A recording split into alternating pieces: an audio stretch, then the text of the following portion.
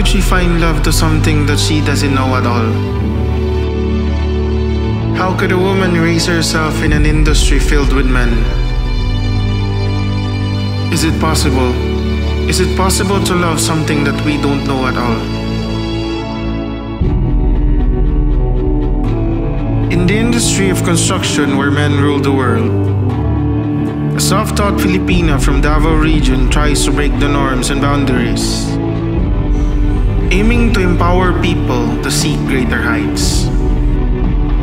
Cherryanne Lee Angoy, a local contractor with no background in construction, with her tenacity and passion to learn, pointed her to spend countless hours in the construction sites to personally learn the ropes in all aspects of running a construction firm.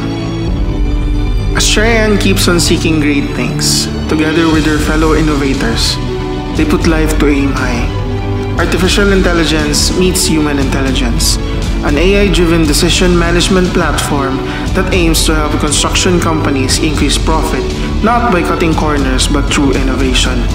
This is more important than ever so that the stakeholders in the construction field can continue to thrive despite the challenges brought by the lingering COVID-19 economic impact that requires entrepreneurs to laser focus on cost management and profitability, otherwise risk closing down. Aim High is just starting. This is just the beginning. Follow our progress, cheer us on as we work on achieving our mission. Aim High.